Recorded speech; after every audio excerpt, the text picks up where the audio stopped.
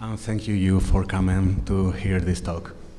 Uh, I will present uh, uh, the results of a study that we were developing in Brazil with uh, ayahuasca churches along several years uh, uh, that were published in some of the better journals in the field of addiction and in the field of um, science, general science. Uh, I work in this hospital. Well, it's a, a, a, research unit. You are invited to come to Barcelona and to visit our laboratories. If you want, uh, you can swim in the beach if you came in winter in, in summertime. I'm sure that you will enjoy a very good time. I work also in ICEERS in, in the um, International Center for Ethnobotanical Education, Research and, Research and Services. And well, uh, I will try to Uh, do the best to, that you can understand my uh, Spanglish and uh, that you learn a little bit. Well, uh, first of all, I think that it is uh, interesting to know something about how hallucinogens in general and ayahuasca in particular uh, acts on the brain because we first observed what hallucinogens do in the brain in order to design our, our experiments and look what uh, neuropsychological areas and what areas of personality or what eventual psychopathological uh, functions will be damaged or will be enhanced in ayahuasca users. Well, this is a classical imagine where you can see the two, the 5-HT 2A receptors, that is where ayahuasca and other hallucinogens act, uh, inducing an increase of the uh, nervous um, communication, the, the, the, central nervous system and the cortical communication may uh, probably acting as uh, exciting the glutamatergic neurotransmitter in the cerebral cortex. This is the main figures, the, the, the main uh, brain areas that ayahuasca, that ayahuasca um, where, where ayahuasca acts, and the neuropsychological uh, tools that we use were especially, are especially, especially designed to assess what are the uh, functions of these uh, brain areas. There are previous. If I talk to you, I cannot read the, the screen, and if I read the screen, I cannot see you and see you what are your faces and your gestures and trying if uh, you are boring or sleeping or whatever. Uh, well, there are previous uh, studies, the, the, the, most famous uh, is the, the project, uh, led by Grob and Callaway, and of the, that, that famous team, where 50 users, 50 ayahuasca users were compared with 50 controls. The users had a history of 10 years of, of, of use, and they uh, used different instruments, one uh, psychiatric interview, one interview, sorry, one personality um, test and one neuropsychological test, and the main results were that the 50 members of the uh, Unión do Vegetal scored a little better in one sub uh, scale of the neuropsychological uh, test, better than the control group. The other study uh, was a, a, psychopathological study with members of the uh, Santo Daime at Oregon and the, the, the researchers uh, use different psychopathological scales, finding again that uh, in, the, in, in, most of the scales that they used, uh, ayahuasca users had lower psychopath psychopathological um, symptoms regarding or compared to the normal, the, the US population. Other studies were three of them with adolescents. They only, and one of them uh, find that there, were, there was a tendency to less alcohol use in the, in the ayahuasca uh, sample. No, they didn't find also difference in neuropsychological tests. Uh, they find also lower scores in anxiety, somatization, and attentional problems So they did not reach uh, statistical significance. And Barbosa also find that uh, people who uh, start to use ayahuasca and that never used ayahuasca before at the six months after the initiation um, score better in some minor uh, psychopathological symptoms. Well, the rationale to, to develop our study is that ayahuasca use has internationally expanded uh, long-term effects studies are rare and have a small sample size. And there is anecdotal evidence regarding ayahuasca use as protector against drug and alcohol abuse.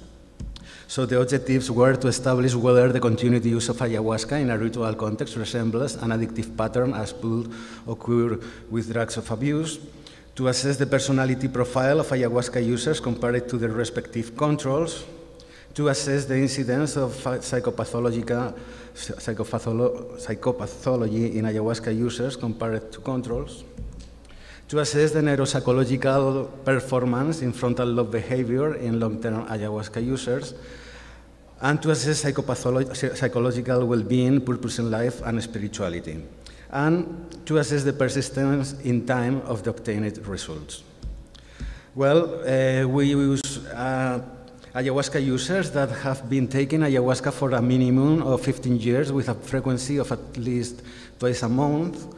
And we obtained four groups, one of ayahuasca rural group versus a control rural group, and an ayahuasca rural group versus a control urban group. And we did a second assessment at uh, 12 months. Where is the place where we went? Let's see if we can see the video. Some of, the, of our research team depart from Barcelona, uh, and some other members of the research team uh, departed from Madrid.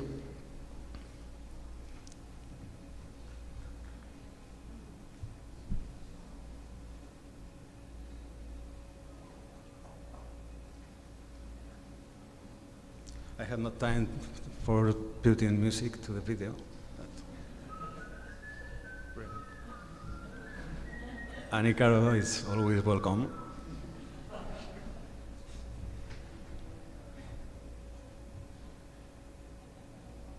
So we were to the nucleus of the Santo Daime Church inside of the uh, Amazonian jungle forest.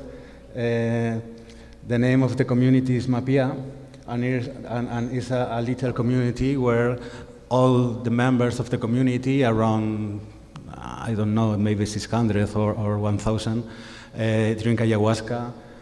Uh, even uh, women, pregnant women, child, and all the community uh, is. Uh, and we, as nobody in, in Mapia, everybody take ayahuasca, we, we, need to go to the uh, most um, nearest village to uh, select the control group. In order to try to control the bias of only study people that live inside of the forest, we went to another town, a big town, a normal town like uh, we can find in, in in almost Western country named Rio Branco, where there are a lot of people who and a lot of churches uh, who take ayahuasca, but there are a lot of people that not use ayahuasca. So we could be able to have two groups, one of ayahuasca users and the other one of non-ayahuasca users. And after uh, collecting all the data, uh, we, some of us were lost in the trip and couldn't go back to Spain.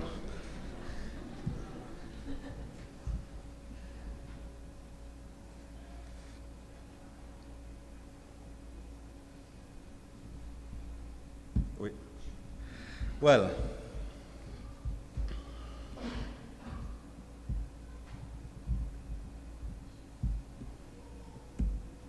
Mapià, Boca do Acre, and Rio Branco.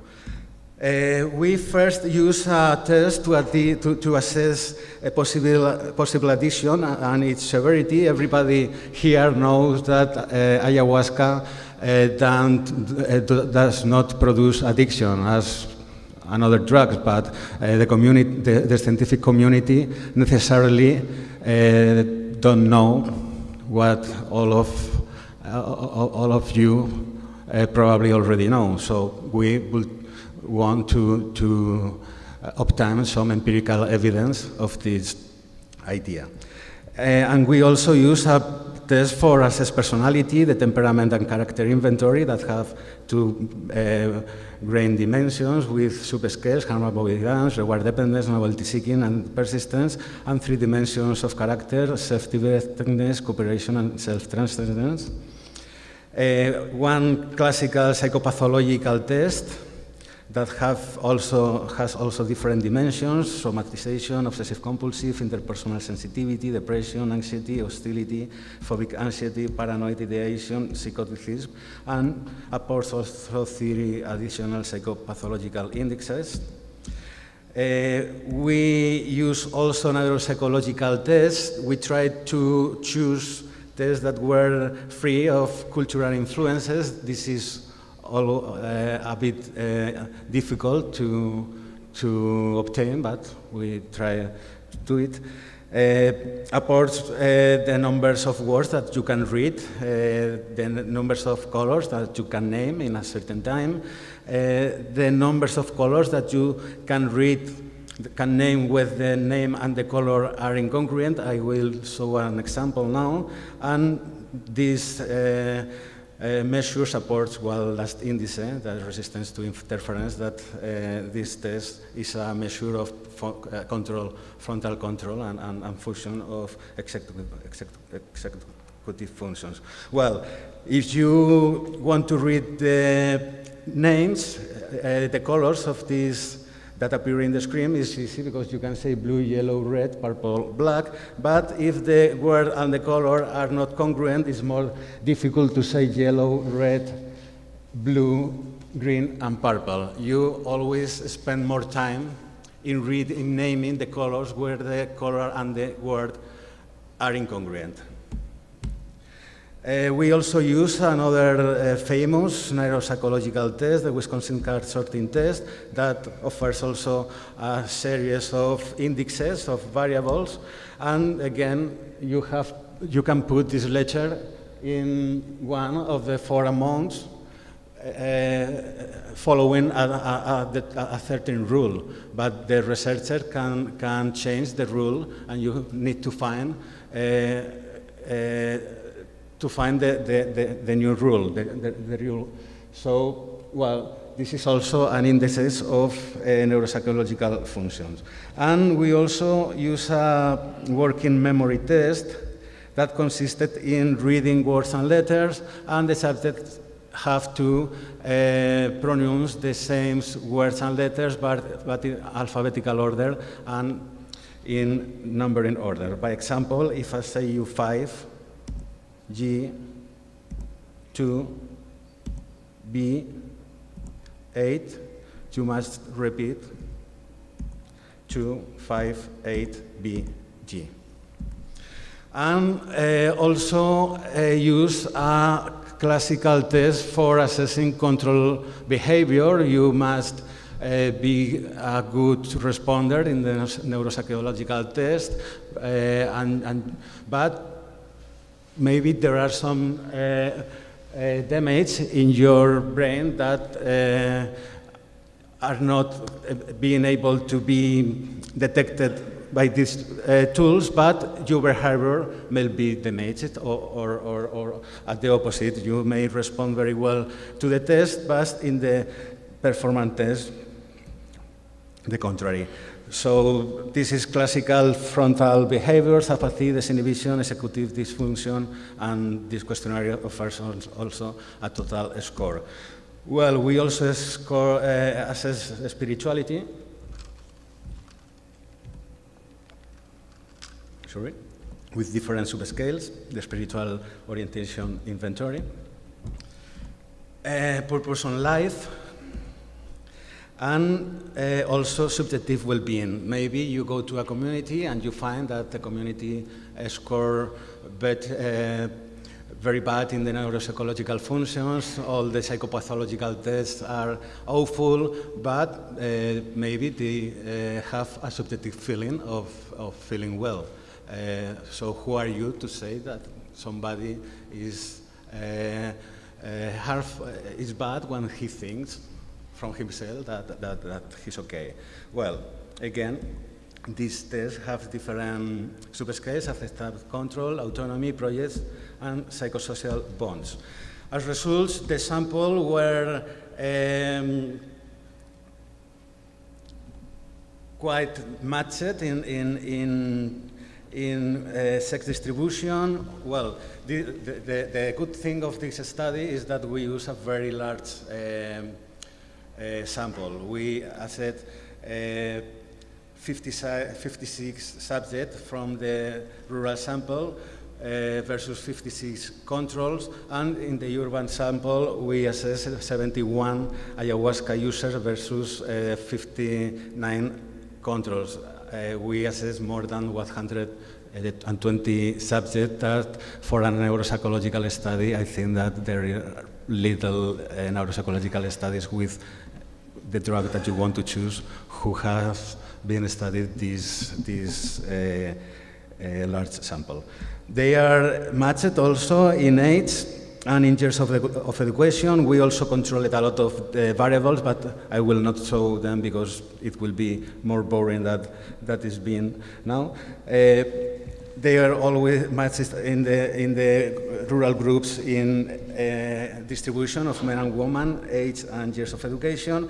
I don't want to talk about the ASI because uh, Dr. Fabregas uh, talked yesterday.